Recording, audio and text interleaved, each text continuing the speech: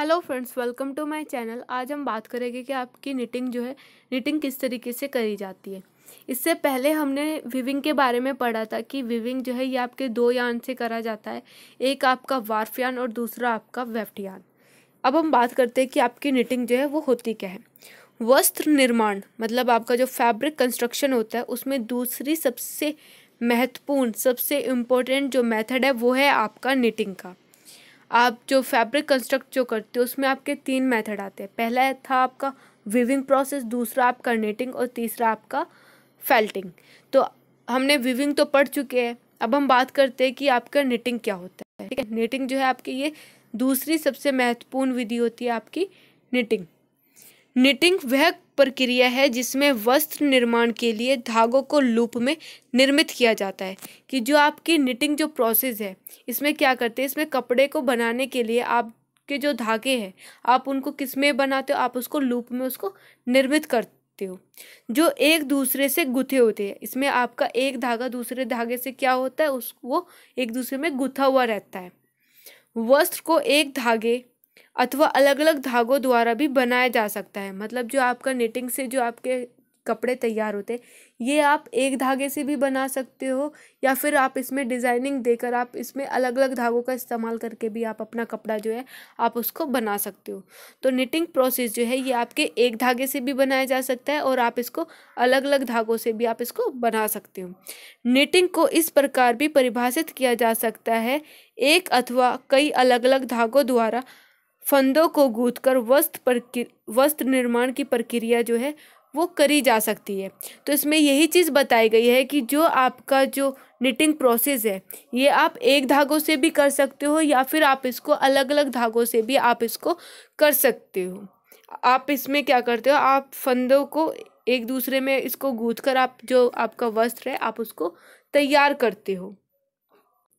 इसके बाद बोला गया है कि एक वर्ग इंच में गिने गए टाकों अथवा लूपों की संख्या द्वारा निटेड फैब्रिक का अंदाज़ा लगाया जा सकता है। मतलब आपका जो एक इंच जैसे आपने जो विविंग में पढ़ा था कि हम वन स्क्वायर इंच के अंदर देखते थे, इसी तरीके से हम यहाँ पे पर भी देखेंगे कि जो हमारे एक वर्ग जो इंच है, उसमें हमारे गिने गए टाकों अथवा जो लूप है उनकी संख्या से क्या कर सकते हैं? हम अपना निटेड फैब्रिक का अंदाज़ा लगा सकते हैं कि वो हमारा फैब्रिक जो है, वो किस क्वालिटी में है। चौड़ाई में दिखने वाले जो, दिखने वाली जो लूपों की जो लाइन होती है, उनको वॉल्स कहा जाता है। सेम जैसे हमने विविंग प्रोसेस में पढ़ा था, यहाँ पे भी वही है। वहाँ पे भी आपने वॉल्स और वेफ्ट के बारे में पढ़ा था सॉरी वहाँ पे भी आपने कि आपके वेफ्ट थ्रेड क्या होती है, आपके जो वार्प थ्रेड है वो कौन से होते हैं? सेम इसी तरीके से था कि वहाँ पे भी आपने लेंथ वाइज और आपके जो क्रॉस वाइज जो थ्रेड है, उनके बारे में पढ़ा था। सेम यहाँ पे भी है कि जो आपके चौड़ाई में दिखने वाले जो लूप की जो लाइन है, उनको यहाँ पे वॉल्स कहा जाता है और जो आपकी लंबाई में दिखने वाली जो लूप की जो लाइन होती है, उसको यहाँ पे कॉर्सेस कहा जाता है। तो ये आपका निटिंग में और विविंग में डिफरेंस है। कि जो यहाँ पे चौड़ाई में जो आपको लूप की जो लाइन दिखती है वो कैसी होती है, यहाँ पे उसको वॉल्स कहते हैं और जो आपकी लंबाई में जो आपको लाइन दिखती है, उसको आप क्या बोलते हो? कॉर्स बोलते हो। निटेड फंदों को सामान्यतः टाके अथवा स्टिच कहा जाता है। जो निटेड फैब्रिक के जो फंदे होते हैं, उनमें जो सामान्यतः जो आपके एक पैलेट जो आपके टाके या फिर जो आपके स्टिच जो आपके टाके होते हैं, उसको आप क्या बोलते हो? आप उनको स्टिच भी उनको बोल सकते हो, टाके या फिर आप उनको स्टिच भी बोल सकते हो। निटेड फैब्रिक के एक वर्ग इंच में ताने एवं बाने की दिशा में टाकों की संख्या को काउंट कहा जाता है कि आपका जो निटेड फैब्रिक है, उसमें एक इंच में आपके कितने ताने और कितने बाने की जो आपके टाके की जो संख्या है, वो कितने हैं, उनको आप किस चीज़ से काउंट आप उनको आप उनको किस चीज़ से मेज़र करते हो, आप उनको काउंट से मेज़र करते हो। ठीक है? उनको आप काउंट भी बोल सकते हो कि आपके एक वर्ग के इंच में आपके कितने ताने के आपके लूप है और कितने आपके बाने के लूप है। तो आप इनको किस चीज़ से मेज़र कर सकते हो? आप इनको काउंट से मेज़र करते हो। मशीन पर प्रति इकाई चौड़ाई सुइयों अथवा टाकों की संख्या द्वारा कपड़ों को प्राप्त उत्कर्षता ग्रेस कहलाती है। मतलब जो आपकी मशीन के द्वारा आप जो प्रति इंच में जो आप चौड़ाई में जो सुई देखते हो या फिर टाँकों की जो संख्या देखते हो, वो आपको कपड़ों का क्या चीज़ बताता है? कपड़ों की उत्कर्षता, जिसको आप ग्रेस भी बोलते हो। ये चीज़ आपको कहाँ से पता चलती है? ये आपको जो मशीन की जो पटिकाई की जो चौड़ाई है, सुई और जो आपके टाँकों की संख्या है, उसके द्वारा आप इस चीज़ का पता लगाते हो। इसके बाद बोला गया है कि ग्रेस नंबर जितना अधिक होगा, कि जो आपका ग्रेस है, वो जितना अधिक होगा, उतना ही आपका जो कपड़ा है, उतने ही आपके कपड़े की जो उत्कर्ष है, उतनी ही ज़्यादा अधिक होगी। किसी भी निटिंग मशीन में प्रति इंच स्वॉट और ग्लोव की संख्या स्थिर अथवा निश्चित होती है। मतलब जो भी आपकी जो निटिंग मशीन होती है, उसमें प्रति इंच का कितना स्वॉट होगा और कितने उसके ग्लोव होंगे, उसकी जो संख्या है, वो हमेशा आपकी क्या होती है? वो हमेशा आपकी निश्चित होती है, स्थिर होती है। इस संख्या को मशीन कट ऑफ़ इस इस संख्या को आप क्या बोल सकते हो? इस संख्या को आप मशीन कट या कट ऑफ़ मशीन के नाम से भी आप इसको जान सकते हो। तो ये चीज़ इसमें याद रखना कि जो आपकी निटिंग जो होती है, आप निटिंग किससे करते हो? निटिंग जो है ये आपकी जो लूप जो होते हैं, ठीक है? लूप को बना के आपकी निटिंग जो है ये करी जाती है। ये आप एक धागे से भी कर सकते हो, आप इसको अलग अलग धागों से भी आप इसको कर सकते हो। जो निटिंग है ये आपका, जो निटिंग से जो आपका वस्त्र जो बनाया जाता है, ये लूप को, धागों को लूप में निर्मित करके ये तब बनाया जाता है। दूसरी चीज़ कि निटिंग जो है ये आपके एक धागे से भी बनती है और आप इसको अलग अलग धागों से भी कर सकते हो। और इसमें क्या चीज़ बताई गई है कि जो आपकी निटिंग है, ठीक है, इसमें जो आपके चौड़ाई में जो आपके को लूप की जो लाइन दिखती है, उसको आप वॉल्स बोलते हो और जो लंबाई में आपको लूप की जो लाइन दिखती है, उसको आप कॉर्सेस बोलते हो। तो ये चीज़ याद रखना, इसमें कन्फ्यूज़ मत होना कि आपका वीविंग में क्या चीज़ बोलते हैं और आपका निटिंग में क्या चीज़ बोलते हैं। इसके बाद आता है हमारा कि टाइप ऑफ़ निटिंग जो आपकी निटिंग है वो कितने प्रकार से करते हैं? जैसे हमने वीविंग का पढ़ा था अलग अलग तरह की, आपकी वीविंग होती है। कोई प्लान वीव कोई आपकी ट्वेल्व वीव कोई आपकी बास्केट कोई आपकी साटिन वीव तो इसी तरीके से जो आपकी निटिंग है ये आपकी दो प्रकार से करी जाती है। एक है आपकी वेफ्ट निटिंग और दूसरी है आपकी वार्फ निटिंग तो इसमें सबसे पहले हम पढ़ते हैं कि आपकी जो वेफ्ट निटिंग है ये क्या होती है? इसे फिलिंग निट भी कहा जाता है, जो आपकी जो वेफ्ट निटिंग है, इसको किस नाम से भी जाना जाता है? ये आपकी फिलिंग निट के नाम से भी आप इसको जानते हो।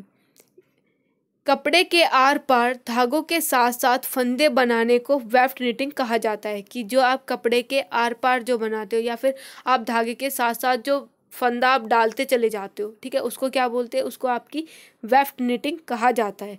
जो आपके धागे के साथ साथ जो फंदे डाले जाते हैं, उसको आप क्या बोलते हो? वेफ्ट निटिंग कहा जाता है।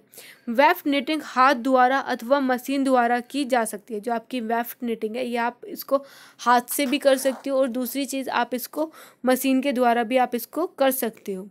दो सुइयों की सहायता से की जाने वाली निटिंग, वेफ्ट निटिंग होती है, जो आप दो सुइयों की, जो आप दो सलाइयों की हेल्प से जो आप निटिंग करते हो, ठीक है? उनको क्या बोला जाता है? उनको आपकी वेफ्ट निटिंग कहा जाता है।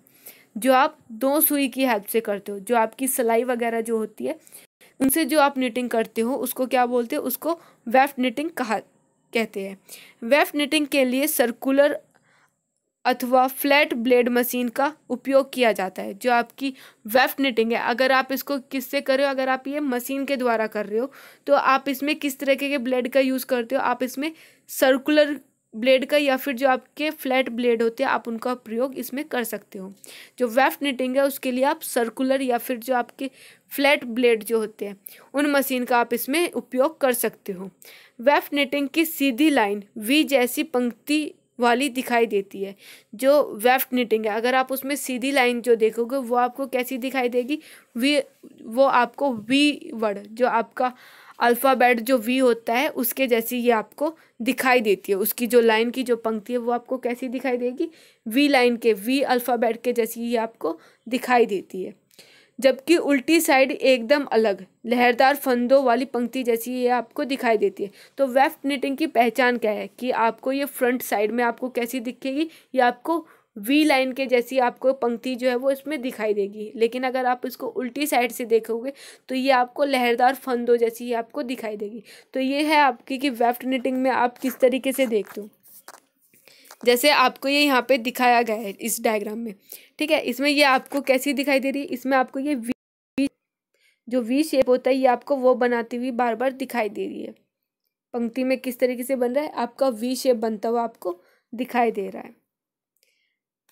वेफ्ट अथवा फीलिंग निट के निर्माण में चार मुख्य टाके उपयोग किए जाते हैं, जो आपकी वेफ्ट निटिंग है। इसमें आपके कितने अंदर सब पॉइंट है? इसमें आपके चार तरह की निटिंग जो है वो करी जाती है। तो जो आपकी वेफ्ट निट है ये आपकी कितने टाइप्स में ये आपकी चार टाइप्स की होती है। सबसे पहले आपकी फ्लैट और जर्सी निट जिसको आप फ्लैट के नाम से भी जानते हो या फिर ये आपकी जर्सी निट के नाम से भी आप इसको जानते हो। दूसरी है आपकी पर्ल निट थर्ड है आपकी रिब स्टिच और फोर्थ है आपकी इंटरलॉक स्टिच तो ये आपकी चार तरह की, की जो आपकी वेफ्ट निटिंग होती है, ये आपके चार टाइप्स की होती है। सबसे पहले हम बात करेंगे कि आपकी फ्लैट और जिसे आप जर्सी निट बोलते हो, ये आपकी किस तरह की होती है। इसे कभी कभी फ्लैट निट भी कहा जाता है, जो आपकी जो जर्सी निट है, इसको आप किस नाम से भी बुला सकते हो? आप इसको फ्लैट निट के नाम से भी आप इसको बुला सकते हो। फ्लैट अथवा फ्लैट अथवा जर्सी निट फैब्रिक के सीधी तरफ़ सीधी समतल लाइनें आपको दिखाई देती हैं। मतलब जो आपकी फ्लैट निट या फिर जो आपकी जर्सी निट का जो आपका फैब्रिक होता है, इसमें आपको सीधी तरफ़ क्या दिखता है? इसमें आपको सीधी समतल लाइनें जो है, ये आपको दिखाई देती है। मतलब सीधी सीधी लाइनें इसमें आपको फैब्रिक में दिखाई देती है। जबकि कपड़े के उल्टी तरफ़ आपको परबल आदि या फिर क्षैतिज उभरी लाइनें आपको दिखाई देती है। मतलब इसमें अगर आप उल्टी साइड आप अगर आप इसके बैक साइड में अगर आप देखोगे तो आपको इसमें कैसी लाइनें दिखाई देगी? आड़ी लाइनें। उल्टी तरफ़ आप इसको परबल जो आड़ी लाइनें होती है, वो आपको इसमें दिखाई देती है, उभरी हुई। ठीक है? इसमें जो आपका जर्सी नीट है, इसमें आपकी अगर आप फ्रंट साइड से देखोगे तो आपको इसमें सीधी लाइनें आपको दिखाई देती है, लेकिन अगर आप इसको उल्टी तरफ़ से देखोगे तो आपको इसमें परबल जो आड़ी लाइनें होती है, वो आपको इसमें दिखाई देती है, उभरी हुई। इस स्टिच का उपयोग अक्सर किया जाता है, जो आपकी, ये जो आपकी जर्सी जो निट है, इसका अक्सर आपका कपड़ों में को बनाने के लिए आपका इस्तेमाल किया जाता है, क्योंकि यह तेज़ एवं सस्ती होती है। क्योंकि आपकी जो ये निट जो, आपकी जो जर्सी जो निट होती है, ये आपकी सबसे ज़्यादा तेज़ गति से बनने वाला ये आपका प्रोसेस है। इससे आपके बहुत जल्दी जो फैब्रिक जो है वो तैयार होते हैं। दूसरी चीज़, इसमें आपकी कॉस्ट जो है वो भी बहुत कम लगती है तो इस वजह से ये इस इस प्रकार की जो आपकी निट है, जो आपकी फ्लैट निट और जो आपकी जर्सी निट है, इसका सबसे ज़्यादा जो है वो इस्तेमाल किया जाता है। इस स्टिच का उपयोग नायलॉन मोजे टी शर्ट स्वेटर इत्यादि में होता है। मतलब ये जो आपकी फ्लैट और जो आपकी जर्सी नेट जिसको बोलते हैं, ठीक है? इसका इस्तेमाल आपके नायलोन के जो मोजे होते हैं, उसको बनाने के लिए, आपकी टी शर्ट वगैरह को बनाने के लिए, आपके स्वेटर वगैरह को बनाने के लिए, इन सब के लिए आपकी जो फ्लैट नेट या फिर जो आपकी जर्सी नेट है, इसका सबसे ज़्यादा इस्तेमाल किया जाता है। इसके बाद सेकंड है हमारा पर्ल निट। कि आपकी पर्ल निट जो है वो क्या होती है। यह निट कपड़ों के दोनों तरफ़ एक जैसी दिखाई देती है। जो आपकी पर्ल निट है, ये आपको दोनों तरफ़ कपड़ों के कैसी दिखाई देगी? एक जैसी। जबकि जो आपकी फ्लैट और जर्सी निट जो थी, ये आपको कैसी दिखती थी? आपको सीधी साइड से ये आपको सीधी लाइनें आपको दिखाई देती थी और उल्टी साइड से आपको ये उभरी हुई, आपको उबड़ खाबड़ मतलब आड़ी लाइनें आपको इसमें दिखाई देती थी। लेकिन जो आपकी पर्ल नीट है, इसमें ये आपको कैसी दिखाई देती? है इसमें ये आपको दोनों तरफ़ एक जैसी ही ये आपको दिखाई देती है।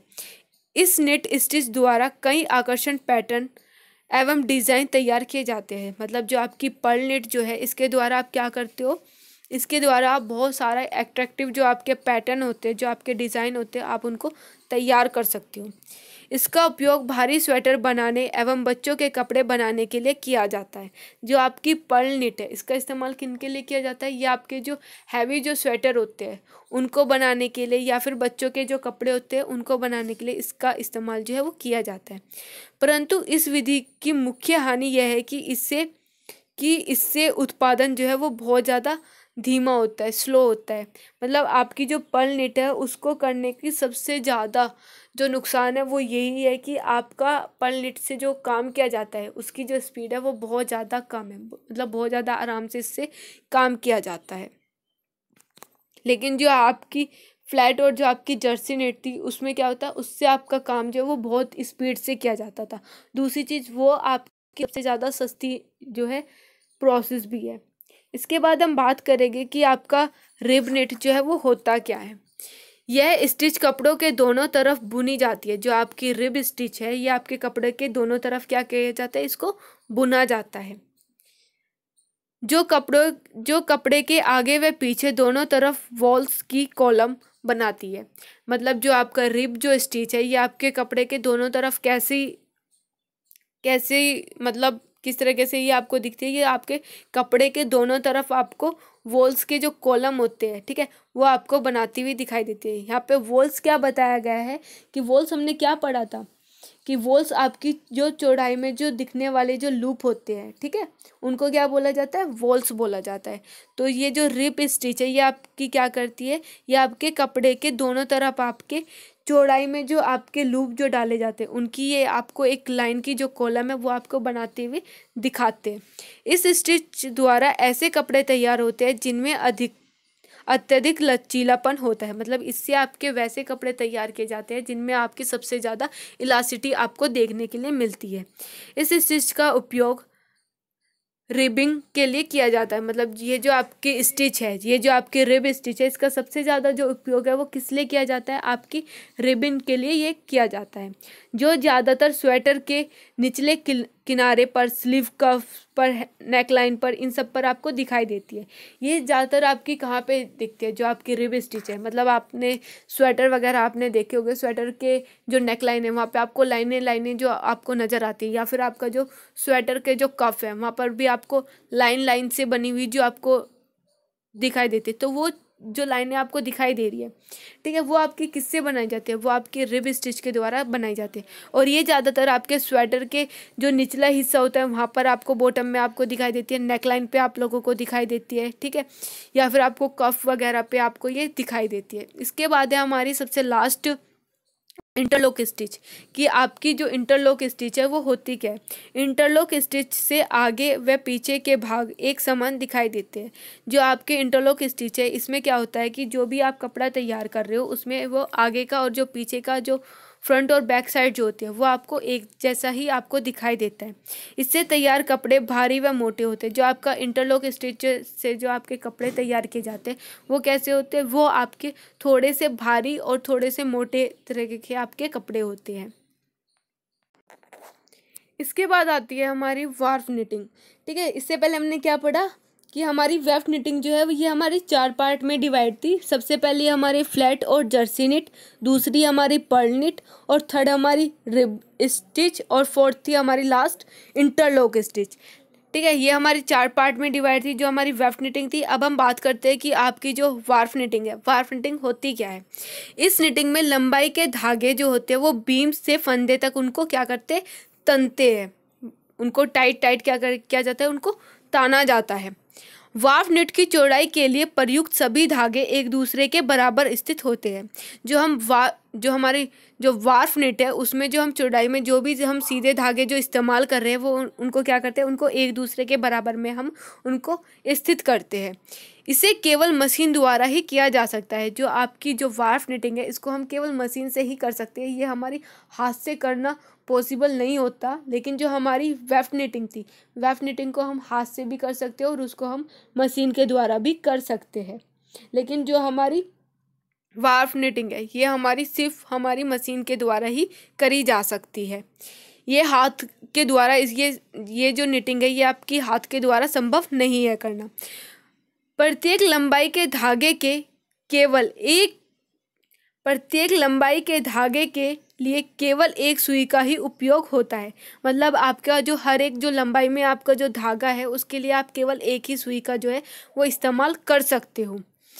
परंतु कुछ कपड़ों की नेटिंग के लिए कई सुइयों का उपयोग किया जा सकता है। लेकिन आपके कुछ कपड़े ऐसे भी होते हैं जिनके लिए हम क्या करते हैं, हम अलग अलग सुई जो है उनका उपयोग इसमें कर सकते हैं। वार्फ नेटिंग दो प्रकार से होती है। जो आपकी वार्फ नेटिंग है, उसको हम दो प्रकार से कर सकते हैं। देखिए, ये आपका डायग्राम दिखाया गया है कि जो आपकी वार्फ नेटिंग है, वो किस तरीके से आपको दिखाई देती है। जो आपकी वेफ्ट निटिंग थी, वो आपको वी शेप आपको दिखाई दे रही थी। लेकिन यहाँ पे ऐसा नहीं है। आप इसको देख सकते हो। यह आपकी मशीन के द्वारा करी जाती है। इसमें सबसे पहले आता है हमारा जो हमारी वार्फ निट है। ये हमारी दो पार्ट्स में होती है। सबसे पहले है हमारी टेरिकोट निट। कि हमारी टेरिकोट निट जो है वो कैसी होती है?